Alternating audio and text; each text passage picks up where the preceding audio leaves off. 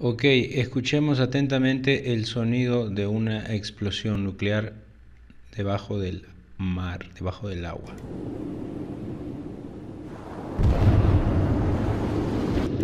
Ok, otra vez.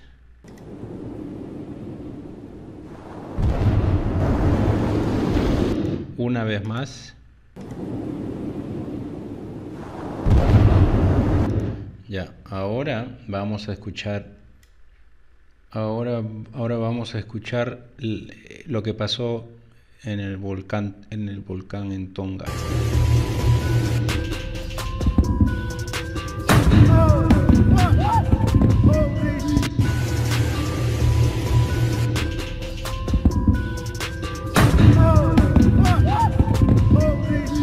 Acá lamentablemente no está apuntando con la cámara, hay que recordar que el sonido se demora en llegar de un lugar a otro.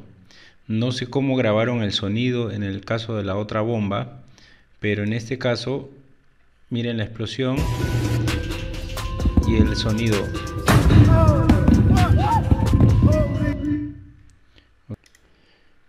Ahora quiero que escuchen explosiones eh, debajo del agua. Acá hay una recopilación de explosiones debajo del agua. Escuchen cómo suena y hagan sus comparaciones.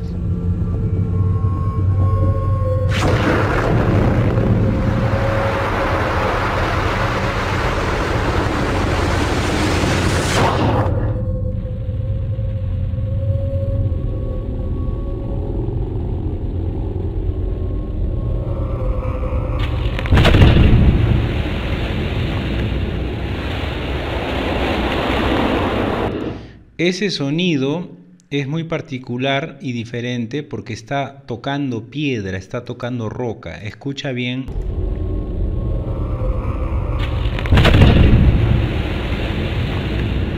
Ahora vamos otra vez al de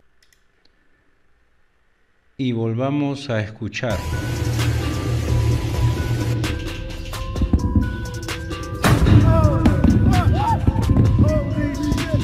Otra vez.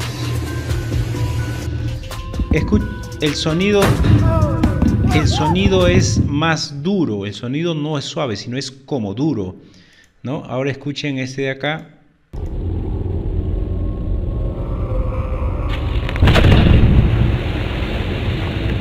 Este de acá es más rocoso, más rocoso y con, el sonido del agua. Este de acá es más, eh, es duro, no tan rocoso, y más uniforme, ¿no? Porque es, me parece que el suelo de ahí no es tan rocoso.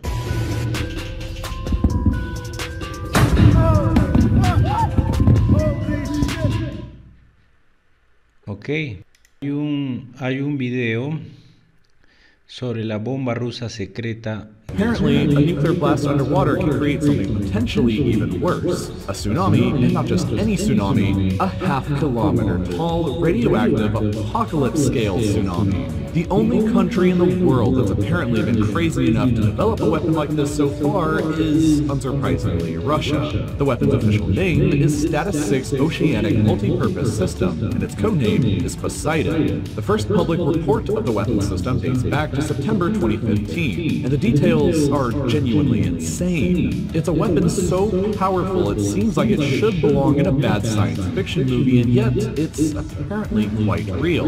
Poseidon is an unmanned drone in the shape of a torpedo that can be loaded onto and launched by a submarine. A Poseidon drone could also remain dormant in a box on the ocean floor, just waiting for a signal to come back to life before carrying out its apocalyptic attack, like a Reaper from Mass Effect. Either way, once a Poseidon is armed and activated, it can have a range of 10,000 kilometers, and it slowly travels across the ocean ominously towards its target over a period of weeks or even months months. The drone travels so slowly in order to avoid detection, but when it's nearby an enemy coastline, it rushes ahead at over 100 miles per hour to get close enough to detonate its nuclear bomb before it's detected. The bomb that the Poseidon drone carries is allegedly the most powerful nuclear device ever created, capable of unleashing a completely insane 200 megatons of explosive power, and all of it underwater.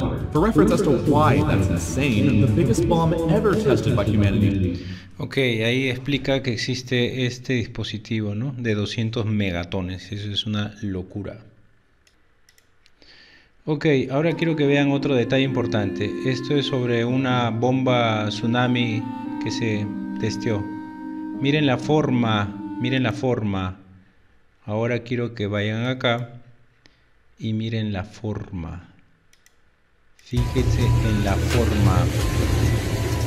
Fíjense en la forma, no en el color, bueno ahí es negro, ¿no? Pero fíjense la forma en que arranca este disque explosión de volcán. Miren la forma. Ok, miren la forma y miren la forma. Miren la forma.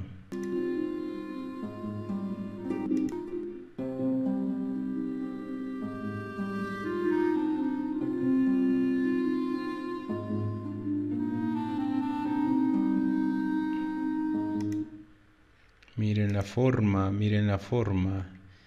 Ok.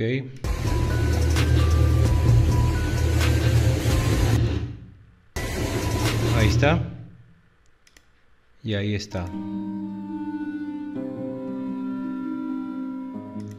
Ahora ahí está el detalle, pues ahora. ¿Es solamente un volcancito o es una bomba nuclear?